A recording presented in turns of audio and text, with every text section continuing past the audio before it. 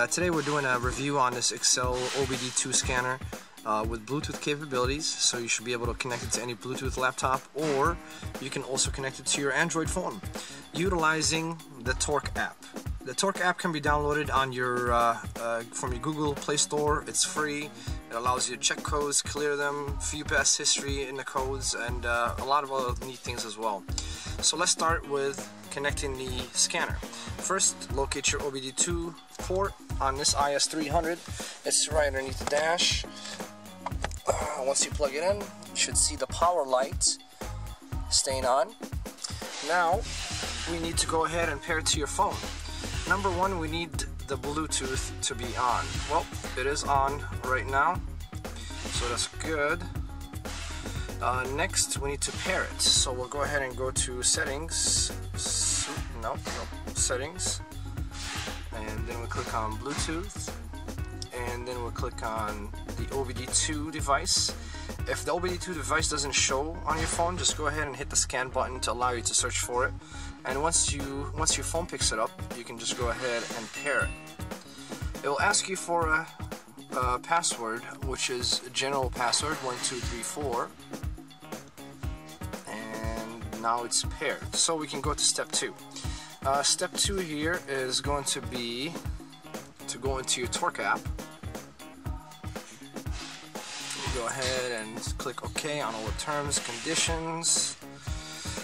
So the way the Torque app works is it allows you essentially to connect to your OBD2 reader and allows you to read codes and all kinds of other neat things. So number one, we need to go ahead and turn on the ignition.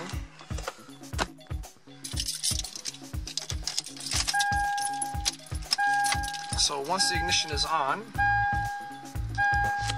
now the scanner and the phone should uh, go ahead and pair up. Uh, generally it takes anywhere from 30 seconds to a couple of minutes. Oh, that was pretty quick. Connected to ECU, everything is good. So now we'll go ahead and add a screen. So this app essentially works just like the, your home screen on your uh, phones. Uh, you can add screens uh, to the app by selecting settings, mm, add display, and then you can add a an array of different displays on here. Um, you can do air fuel ratio.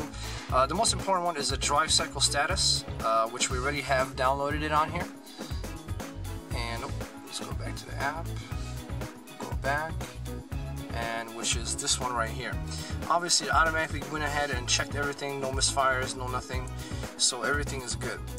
Now that it's paired, we'll go ahead and actually create a check engine light by removing the mass airflow sensor on this vehicle, just to give you an idea of what you need to do. Okay, so we went ahead and disconnected the mass airflow sensor and uh, started up the vehicle just to get a check engine light to come on.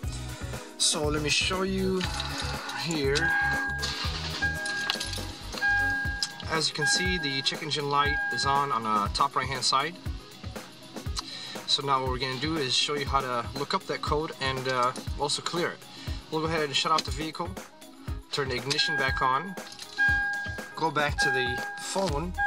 Uh, I will scroll back to the main page here just to make sure that the ECU is connected because every time you shut off the vehicle it disconnects and uh, sometimes takes a few seconds to reconnect. Now we can go back to this screen and go ahead to settings. Let's take an action.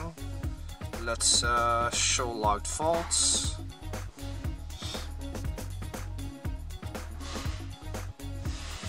Alright so we have two faults. We'll just go ahead and click on one of them.